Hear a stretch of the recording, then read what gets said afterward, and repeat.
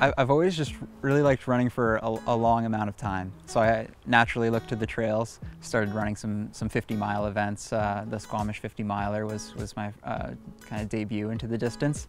I think uh, that really appealed to me because it, it's more of um, a long-term kind of battle uh, within your body, but also your mind and, and with the competitors on the course. And that kind of all comes together in, in a, a longer race. So I think I naturally just gravitated towards the, the long stuff and, and that brought me to trail.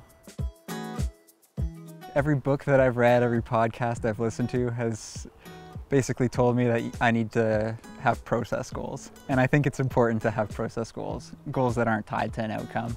But at the same time, I've always had goals that have been tied to outcomes as well uh, as the process goals. So I want to go to Squamish 50 miler this year and my goal is to win. If I, if I came second, I would be disappointed with that outcome. I think it's okay to, to strive for, for the win uh, in, those, in those circumstances.